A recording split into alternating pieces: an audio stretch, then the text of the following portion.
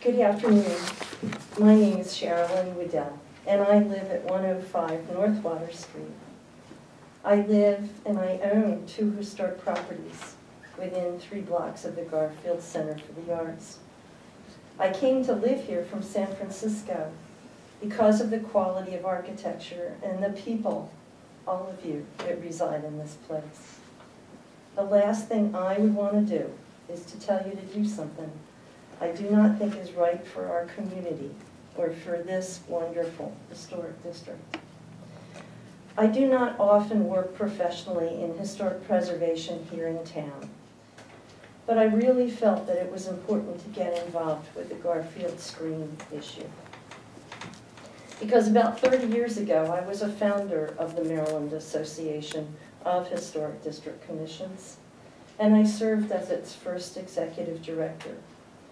I provide train, I, in that capacity, I provided training to all of Maryland's historic district commissions, including the Chestertown Historic District Commission.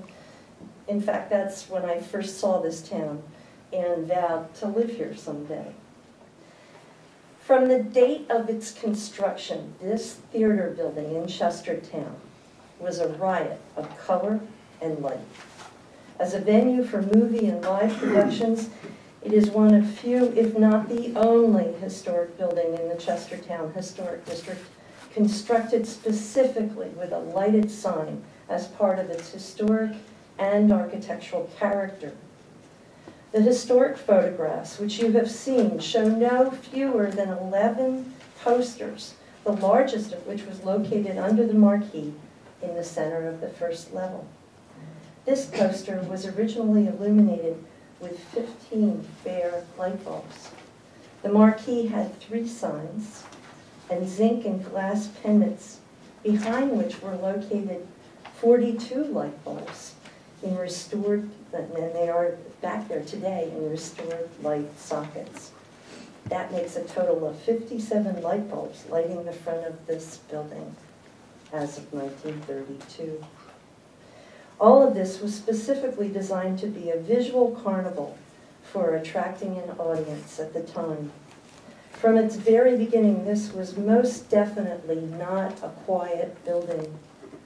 The character of this building was never intended to have a sleepy signboard illuminated by a gooseneck lamp, as is the standard in other parts of the historic district. The historic character of this building is embodied in its lights and signs as much as its architecture. Combined with the restored marquee, the programmable screen will return color and vitality, two of its character-defining features, back to this historic property. The programmable screen respects the character of the historic resource by being placed in precisely the same location as lighted historic signage for the building documented in a 1932 historic photograph. The programmable screen will not change the style of the building or make it look older than it is. The surface design elements will not detract from or conflict with the structure's age and design. The building will retain its integrity. The sign will not conceal architectural detail or damage historic fabric. It won't clutter the building's image, and it won't distract from the unity of the facade, but rather complement the overall design. By placing the programmable sign in exactly the same location of a 1932 low-tech version of the sign, the applicant has retained as much of the original materials, detail, and design of the historic building as possible while using new technology. For these reasons, I do not believe that the programmable sign would seriously impair the historical or architectural integrity of this historic building or the surrounding area. And I believe that the general compatibility of exterior design, arrangement, texture, and materials proposed to be used for this application meet the Town of Chestertown Historic District guidelines and I urge you to approve this application as presented. We also urge you to approve this application because it meets the Secretary of Interior standards for rehabilitation. We know this because we asked for a review of the drawing set by the folks who wrote the standards, the National Park Service. The National Park Service provides technical preservation advice to owners of National Historic Landmark properties. Questions are routinely answered by the National Park Service. So we sent an identical copy of the drawing set we submitted to you, to the National Park Service experts, and asked them whether they thought this programmable sign on this historic building in the Chestertown Historic District met the Secretary of Interior standards for rehabilitation. What was their response? The Park Service team of professionals, including two who live and have worked in Maryland and are familiar with Chestertown, reviewed the submittal.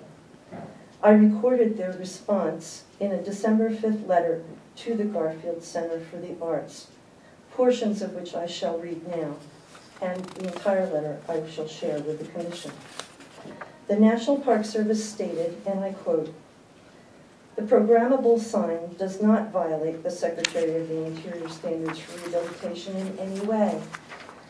The sign is wholly appropriate and restores the character of the property. The paper sign was lit. Placing the sign where it is proposed will not affect the lightscape because under the marquee, there is a limited viewpoint.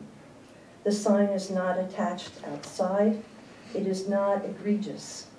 There is a compelling case for it. What is the added value of the sign? It has free advertising for the community. End of quote. I submit my letter to the Garfield Center of the Arts for the record, um, recording this conversation with National Park Service. Please be assured that we did not attempt to influence their judgment in any way. We submitted the identical drawing set that you have received, and the National Park Service representatives had no idea whether I was working in favor or opposition of the application when I asked them for their comments. I should note that they also thought it was the best documentation that they had ever seen, thanks to Peter.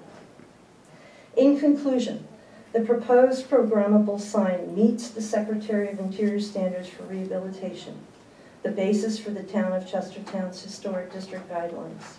This is not just our opinion, but of those who are responsible on a daily basis for interpreting the Secretary of Interior standards for rehabilitation, that is, the Technical Preservation Services Office of the Park Service. Therefore, we urge the Chestertown Historic District Commission to approve the programmable sign for the Garfield Center for the Arts